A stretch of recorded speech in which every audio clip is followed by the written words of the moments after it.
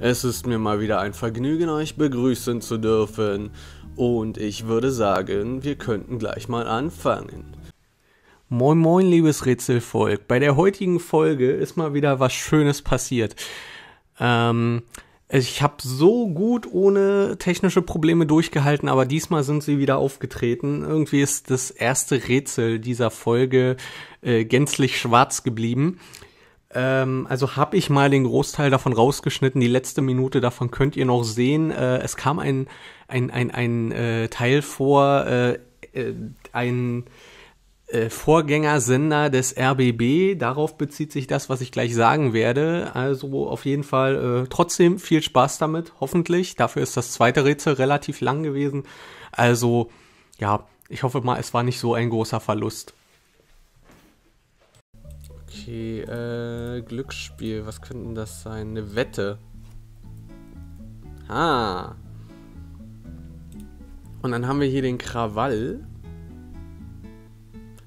Und dann die Kunstgattung, weiß ich leider immer noch nicht. Aber es ist, na doch, die Malerei. So. Ich würde ja jetzt sagen, das hier ist ein Panel mit Doppel-E. So, ähm, kostbar ist auch edel. Hm, Kehrreim. Hm. Das ist dann, ach so, die meinen damit den Refrain. Und damit haben wir das. Es ist geschafft. So, ähm, SFB. Ich würde das am liebsten mal googeln, aber dann komme ich auf Senftenberg. Äh, vermutlich SFB. Ähm, äh, äh, Fernsehen. Senderfreies Berlin. Okay, dann ist das wahrscheinlich nicht der Sender, den ich dachte. Alles klar. Alles klar. So, dann kommen wir wieder zum Lösungsworträtsel. Raspel. Hm. Hm. Könnte auch ein Splitter sein, ist es aber hier nicht. Ein Polartier. Mhm, mhm. Verdammt. Hm. Was war der Tadel nochmal? Das, das, vorher hatten wir das mal andersrum. Hm. Okay, Fleck haben wir erstmal. Äh, dann weiß ich, es ist nicht der Pinguin. Das Polartier ist nicht ein Pinguin. Ähm, gut, dann haben wir nämlich den ersten schon mal. Den ersten Buchstaben. Beutel ist auch eine. Hahaha, ja, könnte passen. Abkürzung Escudo. Hm.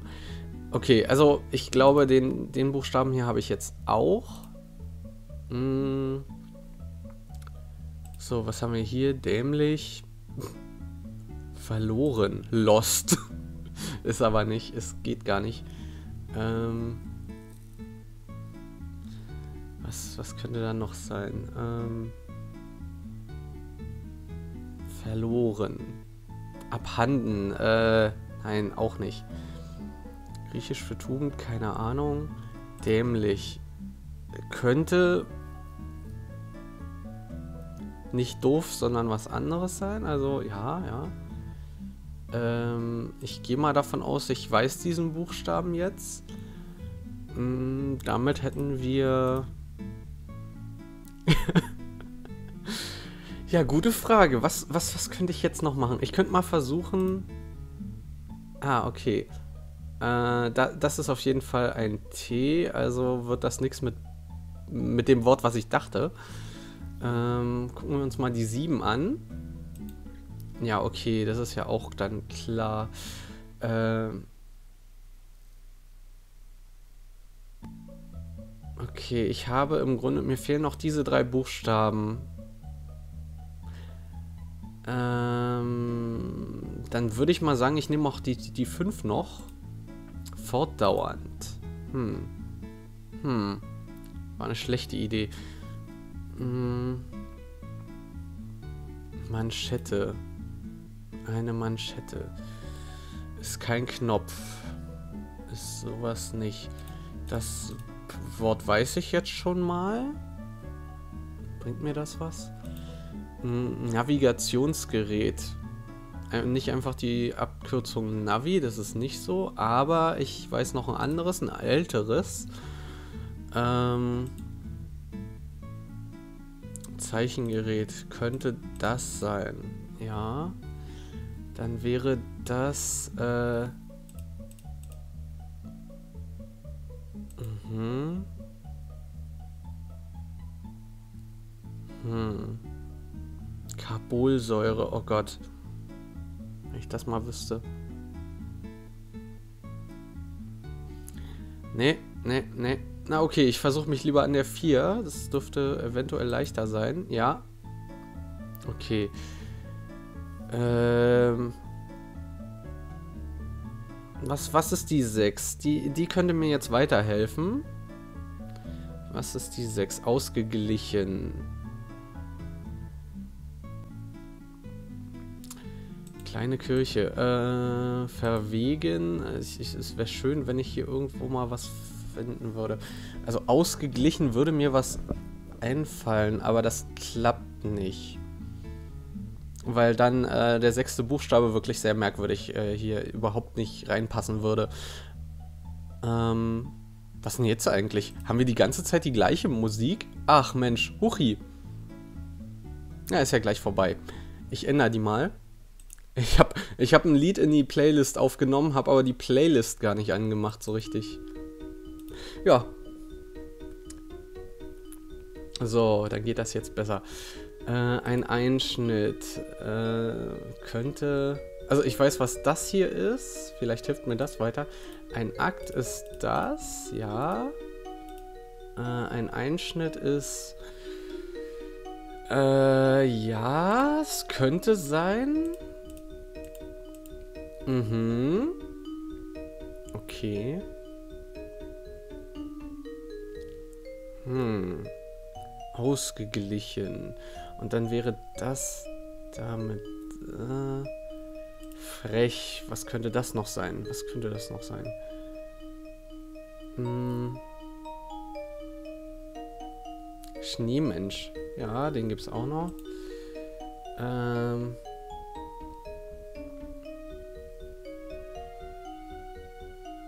Ah, okay. Ja, ja, dann weiß ich auch, was das ist. Ja, okay. Bringt mich das weiter? Hm. Höchstens so, dass ich äh, sagen kann... Ach, verwegen weiß ich jetzt auch. Gut, und äh, die kleine Kirche fängt mit M an. Was, was ist eine kleine Kirche mit M? Ähm, M, M, M und hört auf fast mit einem L. Wie es aussieht. Okay. Ah, die 5 oder die 6, das wäre schön, wenn ich die mal wissen würde. Also, verloren mit P fängt das an. Hm. Oh, das ist böse. Also ich, ich weiß hier, äh, ich, ich kann ja gerne mal die Buchstaben eintragen, die ich jetzt weiß. Also B, A, D, E. So, in die 8, äh, in die 7 kommt ein...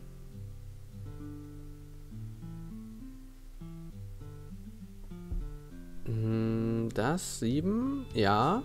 Und in die 8 ein T. Beweisen kann ich das Ganze auch. Hm, Bademist könnte da stehen, aber ich glaube nicht. Baderist? Was ist denn ein Baderist? Wenn, äh, wäre vielleicht eine Möglichkeit, aber es muss nicht sein. Ähm, ich würde mal sagen... Ähm, machen wir erstmal... Tragen wir mal ein paar Sachen ein und dann schauen wir mal, wie es so weitergeht. Ähm, dann haben wir hier nämlich die Tasche. Das war nämlich äh, so gedacht. Mm, so, was haben wir hier noch? Äh, Hautausschlag ist natürlich Akne. Tinte auf Englisch ist Ink. Ja, ebenfalls ist Dito. Äh, und Ole ist ein nordischer äh, Männername. Mhm. Okay, vom gleichen Druck äh, weiß ich noch nicht, aber ich weiß die Traubenernte natürlich. Fortdauernd hätte mir jetzt vielleicht auch weiter geholfen. Machen wir mal noch die fliegende Untertasse. Dann machen wir hier das Navigationsgerät, den Kompass, der nicht, äh, der es nicht ist. Okay, das macht einiges, das erklärt einiges. Hätte ich jetzt gedacht, dass das ein Kompass sein soll. Okay, ähm. hier gibt's, hier ist es auch kein Pinsel. Okay, ähm. Nordafrikanische Hauptstadt. Äh, machen wir erstmal hier Anis rein. Ja. Französisch 6 ist, glaube ich, irgendwie sowas. Nein, nein. Ähm, also es fängt mit S an, auf jeden Fall. Wie die 6. Mm, frech war dreist, ja. Äh, Gebärdensprache ist Gesten. Das ist auch klar.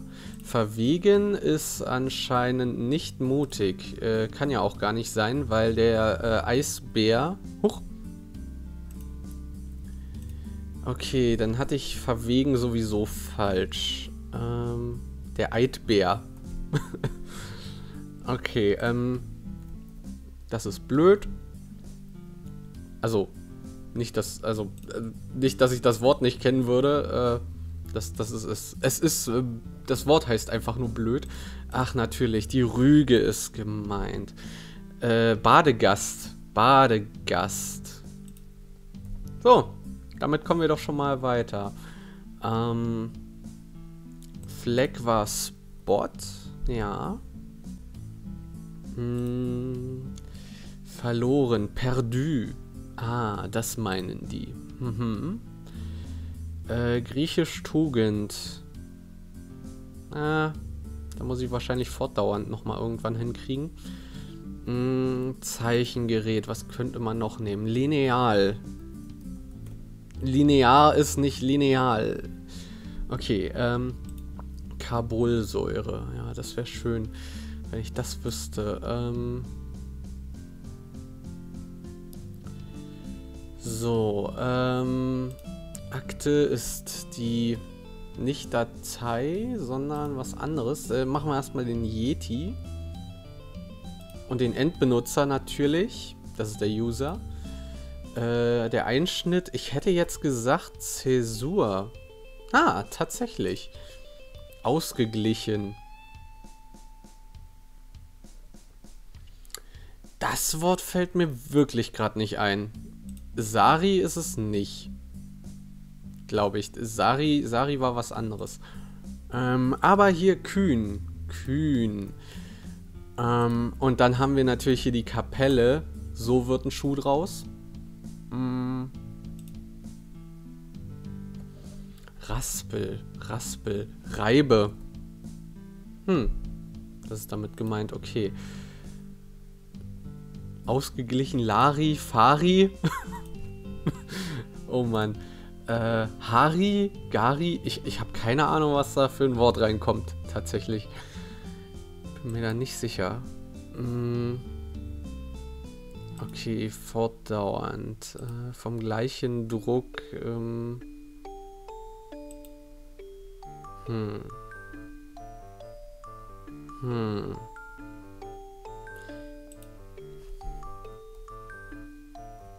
Isoton. Zufällig.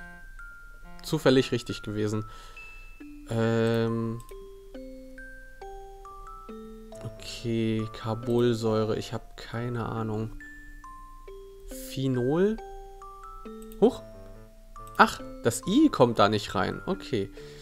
Phenol. Phenol macht mehr Sinn, ja. Äh, war das nicht Clodea? Clo Ro ähm, nee. Plodea? hm. Alodea? Elodea? Elodea? Oh yeah. Äh, fortdauernd. Stetig ist das. Ah. Jetzt komme ich auch mal mit, mit klar. Ähm. Arete. I und E verwechsel ich hier anscheinend öfter mal. So, eine Manschette ist dann wohl eine Stulpe. Mhm, mhm. Ähm, ich glaube, dann haben wir hier Tunis. Ja, ja. Ähm, ah, was, was könnte das sein? Irgendwas mit SA? Nee. Hm. Also E war ja eigentlich nicht. Nee. Hm. Soa? Nee. S-U-S. Sass. Nein. Sis? Six? Echt jetzt? Im Französischen ist die 6 auch 6. Wow. Okay, ähm. Ach, der Sextant, den meinen die. Ach, natürlich, den gibt's ja auch noch. Ja, ich dachte leider nur an den Kompass gerade. Äh, wo fehlt uns was? Ach, hier. Ein Buchstabe fehlt uns noch. Bari. Nari. Mari. Gari. Hari. Kari, Lari hatte ich schon. Yari. Fari hatte ich. Dari. Sari. Ari. Eari. Vari. Tari. Zari. Also langsam wird's Pari. Ausgeglichen. Ich bin vollkommen pari was ist denn pari, paritätisch? Was meinen die denn mit dem? So. Pari, von, äh, von lateinisch par. Ja, ja, macht auf einmal Sinn. Ein Fachausdruck für den Börsenkurs von Wertpapieren. Na, guck mal einer an.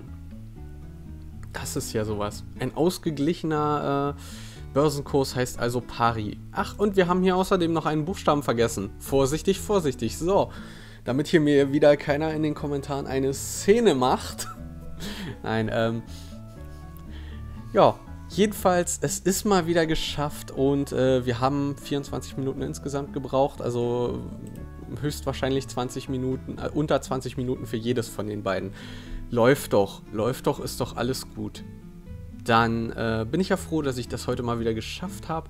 Waren interessante Worte dabei, muss ich mal sagen. Isoton zum Beispiel. Ist das nicht, gibt es nicht auch isotonische Getränke oder war das isotopische? Nein. Nein, ich glaube eher isotonisch. Ähm, was auch immer das dann heißt. Oh, und Elodea, Elodea, Elodea, wie auch immer man das ausspricht. Ich spreche das am liebsten dreimal falsch aus, damit mir keiner sagen könnte, ich wüsste, wie es richtig ausgesprochen wird. Genauso wie das Archipel, das ich mal als Archipel ausgesprochen habe, bis mir irgendwann mal jemand endlich gesagt hat, dass das so ist. Äh, ich lege ja wirklich sehr viel Wert gerne darauf, da äh, Sachen richtig aus, auszusprechen. Aber ähm, wenn man das noch nie gehört hat, nur gelesen, ist das tatsächlich schwierig, da die Betonung auch zu kennen. Falls ich euch damit was beigebracht habe, freut mich. Also bei dem Wort. Ich müsste hier eigentlich irgendwo so ein kleines Fenster daneben haben, wo ich das immer gleich eintragen kann. Und gleich nach alle möglichen Informationen nachgucken kann. Aber ja, vielleicht kriege ich das irgendwann noch hin. Jedenfalls bis zum nächsten Mal äh, wünsche ich euch äh, noch eine schöne Zeit und ähm, ja, ich hoffe, wir sehen uns wieder. Also dann, tschüssi!